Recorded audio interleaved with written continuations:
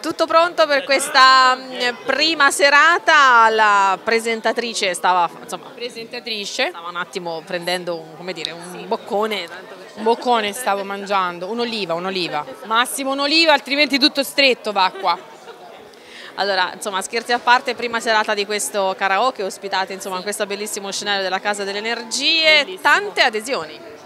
Molte adesioni, sì sì, infatti i ragazzi devo dire si sono tutti impegnati tantissimo, li ho sopportati, anche supportati, perché sono venuti a provare, a riprovare, insomma l'hanno presa molto seriamente, mi fa piacere perché anche se un gioco, diciamo chiamiamola un gioco, no? sono dilettanti, però l'hanno presa seriamente, anche il gioco ha le sue regole, no?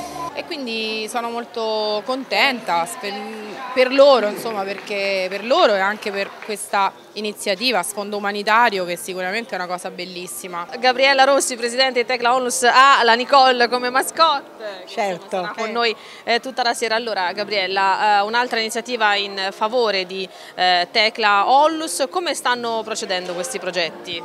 Eh, adesso abbiamo un momento un po' critico perché iniziamo a interagire con una grande Ollus che è Medici Africa Quam, collegio universitario aspiranti medici missionari e apriamo in un altro paese. Per cui è un momento molto delicato perché vorremmo fare qualcosa di diverso. Dato che io sono andata in pensione da due mesi, vorrei fare il medico in Africa e soprattutto in Tanzania. Infatti sto cercando di fare tutti i documenti per essere riconosciuta proprio dal paese, però per essere più tranquilli siamo, abbiamo, stiamo cercando di interagire con questa grande ONG che è la ONG con sede a Padova, la più vecchia in Italia e lavora già da 60 anni in Africa. E abbiamo trovato già un ospedale con un progetto di malattie croniche, di prevenzione molto interessante, per cui stiamo iniziando per ripartire, io andrò giù ad aprile, perché i nostri progetti sia in Madagascar che in Sierra Leone sono conclusi.